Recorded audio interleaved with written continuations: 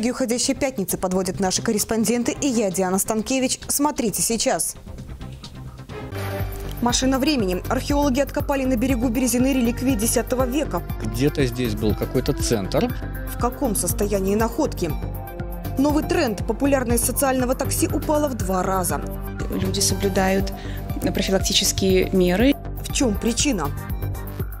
Лучшие из лучших в Бобруйске наградили победителей и участников проекта «Наследники Великой Победы». Достойный вклад э, в сохранение памяти. А также погода в доме, советские медали и штормовой май. В конце весны температура взлетит до 30 градусов тепла.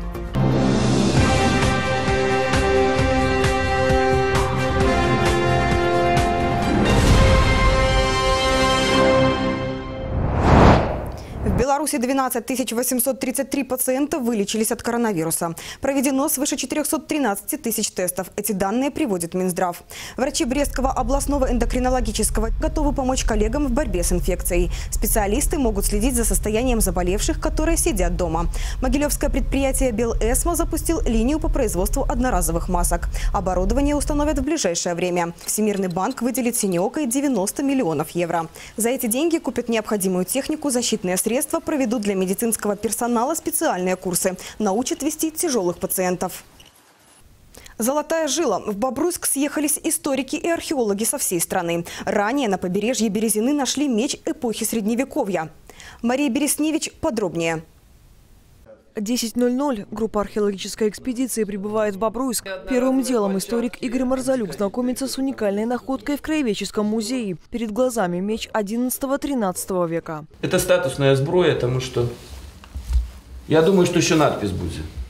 Хутчэй за все будет надпись на латыни. На рукоятке сохранились остатки серебрения. Эксперты уверяют, артефакт принадлежал старшему дружиннику или даже князю. Здесь же элементы боевых топоров и наконечник стрелы. Внимание приковывает шлем с тысячелетней историей. Игорь Марзалюк называет головной убор сенсацией. Унікальність бабруйського шлема ў тым, што ён самы поўны дасканалы інфарматыўны шлем гэтага тыпу. 34 недзе шлема ёсць, але яны фрагментаваныя ў рознай ступені карозіі. Гэта самы цэлы ацалелы шлем. Следующая точка маршрута – судостроительный завод. Археологи и студенты из ФАК МГУ Кулешова занимаются раскопками. После находки шлема и когда поняли его историческую ценность и какое значение он имеет для нашей республики и конкретно для нашего города, конечно, уже поневоле стали обращать внимание на э, всякие находки, что нам дает земля. Берег Березины напоминает строительную площадку, лопаты, ямы. Однако работа кропотливая. Землю пропускают через сито, используют линейку и нивелир. Всего через 30 минут нашли фрагмент горшка, кухонная утварь в виде латинской буквы «С». Такие изготавливали в X веке.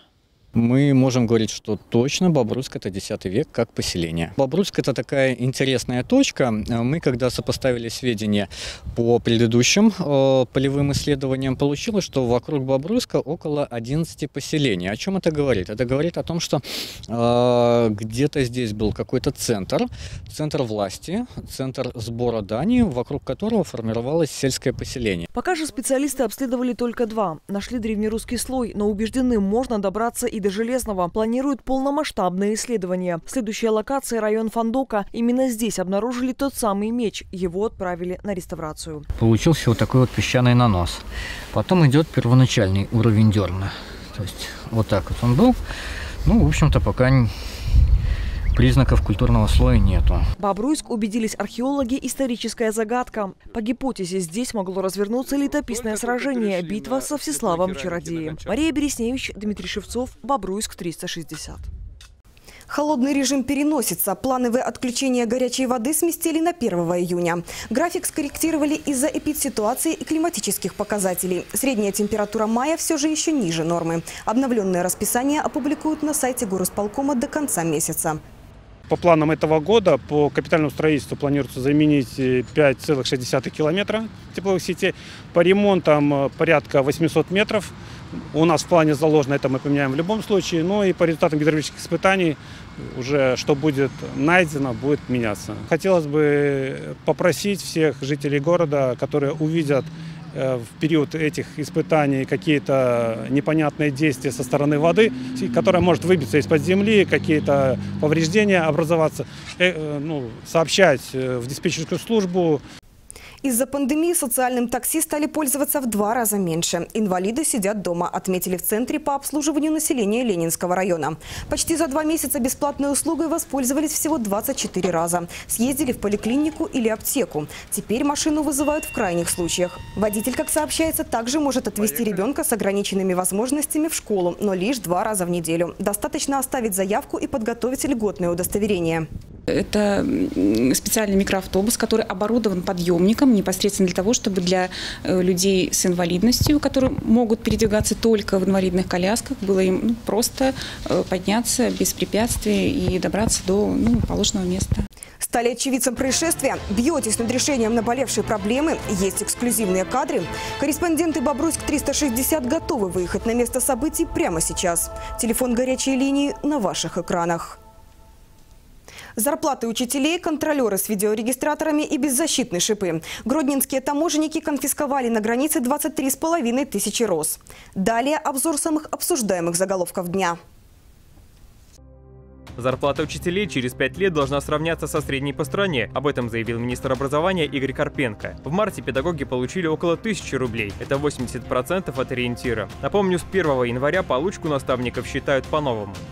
Не спрятаться, не скрыться. Все контролеры в Могилевской области будут работать с видеорегистраторами. Оборудование закупят до конца года. Проверяющие уже снимают пассажиров в Бобруйске и Могилеве. Запись устройства – порой единственное доказательство безбилетного проезда.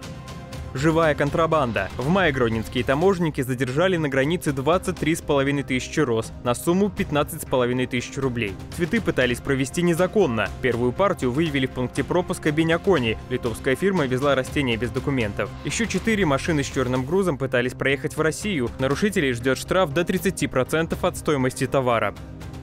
За пять лет в Беларуси газифицировали почти 600 деревень, проложили больше 9 тысяч километров трубопровода. В системе подключены все города и райцентры. Белтопгаз также постепенно внедряет стоп-системы, с ними ремонтировать или заменять участок можно без отключений. Информация про подачу и использование голубого топлива генерируется в центральном штабе.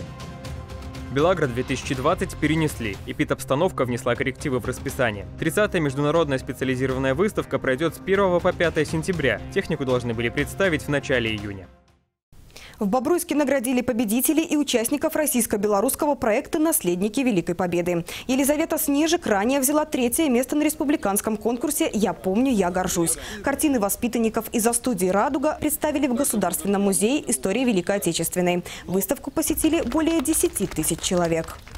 Наши дети, бобруйчане, юные художники вносят достойный вклад в сохранение памяти тех, кто защищал нашу землю. Они знают, потому что посещают и тот же наш краеведческий музей, музей Великой Отечественной. Две стороны Советского Союза. В художественном музее открылась выставка медальерного искусства. В коллекции Дмитрия Чернякова свыше 300 образцов. Экспозиция разделена по темам. На аверсах мировые деятели науки, культуры и искусства. Отдельные разделы посвящены Великой Отечественной и освоению космоса. В витринах юбилейные медали. Награды отсылают к событиям и реалиям жизни в стране Советов. Сплошная облачность. Ночью по Бобруйску прошелся снег с дождем. Днем погода успокоилась. Воздух прогрелся до 10 с плюсом. Надолго ли тренд, уточнила Кристина Арианс. Синоптики прозвали эту неделю штормовой. Все без исключения будни специалисты окрасили в оранжевое. Дождь, ветер от 8 до 14 с плюсом. Май перепутал себя с октябрем. На субботу обещают похожий сценарий. В Европе о себе напомнил вулкан Этна. Он выбросил стол пепла высотой почти 5 километров. Одно из наиболее активных геологических образований Старого Света регулярно извергается и становится причиной землетрясений. В Греции установилась рекордная за полвека жара. Зной вынуждает жителей отправляться на пляжи. Песчаные зоны отдыха открыли досрочно. Сидеть дома, когда за окном плюс 40 стало просто невозможно. Со следующей недели в Беларусь вернется тепло. Метеорологи обещают, что в некоторых областях будет до 30 градусов тепла. Пришло время подыскивать для себя летние образы. Тем не менее, завтра очередное штормовое предупреждение. Погоду будет определять область повышенного атмосферного давления. И несмотря на небольшое потепление, не обойдется без сюрпризов. В Бобруйске будет переменная облачность, преимущественно без осадков. В городе разгуляется северный порывистый ветер. Ночью столбик термометра не поднимется выше 4-6. Днем воздух прогреется до 10-12 градусов. Кристина Риянс, Максим Галеонко, Бобруйск, 360. Это все из событий к этой минуте. Следите за нами в интернете и соцсетях. Мы в эфире каждый будний вечер. Счастливо!